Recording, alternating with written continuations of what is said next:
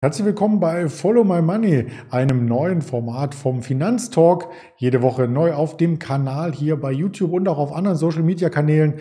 Da freue ich mich natürlich darüber, wenn Sie uns folgen. Und natürlich habe ich einen Gesprächspartner auch in dieser Woche. Und das ist diesmal ein Star Trader und kein geringerer als der Robert Baumann.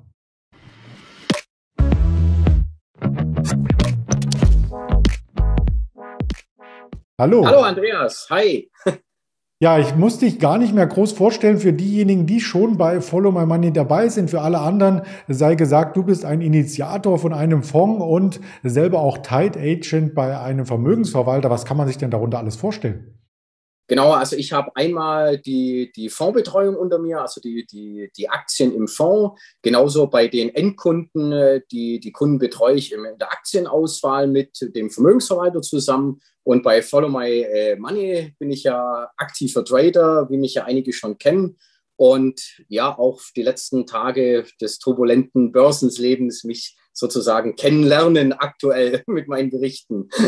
Ja, turbulent ist genau das Stichwort. Du sprichst auf die Volatilität an. Der Nasdaq im letzten Jahr noch ein neues Allzeithoch ähm, in der Nähe oder sogar über den 16.000 Punkten. Und seitdem ging es über 1.000 Punkte nach unten. Da wird der ein oder andere Anleger sicherlich sich schütteln und sagen, boah, muss ich jetzt raus aus dem Markt? Aber wenn man das Gesamtbild sieht, ist es eine normale Korrektur, möchte ich meinen.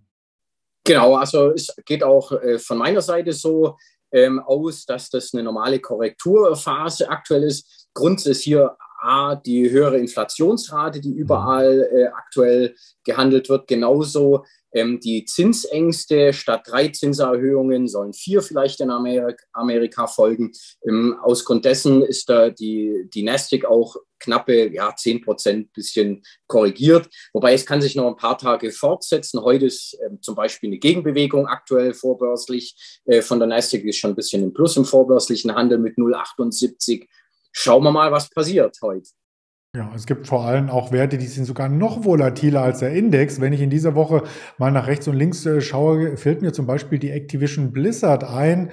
Äh, die war so ein bisschen in Vergessenheit geraten, hat sich seit letzten Jahr auch halbiert gehabt. Gab es auch Querelen mit dem CEO und so weiter. Das Geschäft ein bisschen lahm, einige Blockbuster genau, genau. nach hinten verschoben. Und jetzt der Paukenschlag. Microsoft übernimmt den Laden und auf einmal springt die Aktie 30 Prozent nach oben. Genau, genau. Also an dem Tag, an dem 18.01., wo das bekannt gegeben wurde, dass, die, äh, dass Microsoft die Aktie übernehmen möchte, das Unternehmen, ähm, ist der Do äh, 95 Dollar, wie sagt man, der, der Ausgangspreis aktuell für die Übernahme. Die Aktie an dem Tag ist sehr, sehr stark gestiegen mit 25,88 Prozent, liegt im laufenden Jahr auch bei einem Plus von 23,27 Prozent stand gestern. Letztes Jahr, wie du schon erwähnt hast, war ein sehr, sehr schwaches Jahr bei diesem Unternehmen mit minus 22,37 Prozent. Im aber trotzdem die letzten neun Jahre, muss man immer noch dazu sagen, fast 800 Prozent Wertzuwachs, obwohl, also es ist wirklich gigantisch. Ähm, der Spielemarkt an dem Tag ist sehr stark gestiegen. Äh, anderes Unternehmen, Take-Two Interactive, ist positiv gewesen. Electronic Arts auch mit 2,66, entgegen der, der Marktbewegung von minus 2,57. Also ist zurzeit sehr, sehr spannend. Kann sich das denn am Ende lohnen, weil der Preis soll ja bei 69 Milliarden US-Dollar liegen?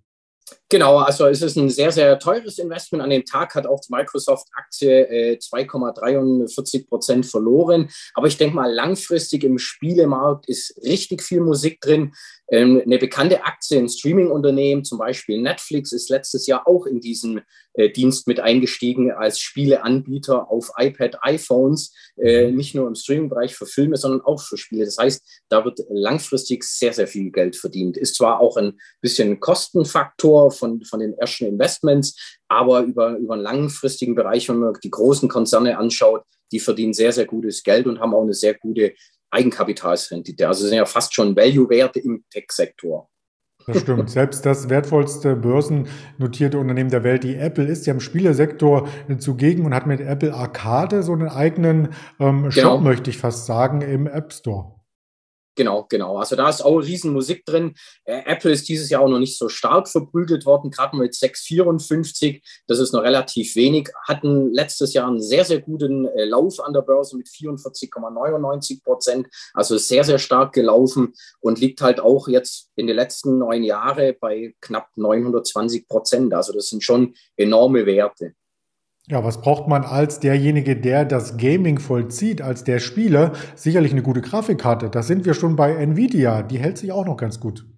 Genau, Nvidia ist mit einer meiner Lieblingsaktien schon seit über neun Jahren. Also äh, die Wertentwicklung ist gigantisch. Also wenn wir nur mal, ähm, ich lasse dich mal raten, was schätzt du, was die Aktie die letzten neun Jahre an Wertentwicklung gehabt äh, hat tatsächlich? 4300 Prozent. Ah, fast. sind knappe 9411 Prozent, also wirklich gigantisch. Ähnlich wie Netflix mit 4400. Also die mhm. zwei Werte sind wirklich top. Ähm, Nvidia ist auch voll ausgelastet in der Produktion läuft weiter das Geschäft. Ein anderer super ähm, Chip-Hersteller ist zum Beispiel Ambarella, haben sehr, sehr wenige auf dem Schirm, wird aktuell ein bisschen verbrüdelt mit 31,1 Prozent im Minus. Letztes Jahr aber Spitzenwertentwicklung von 139,4 Prozent. Also war sehr stark mit Nvidia von 144,08.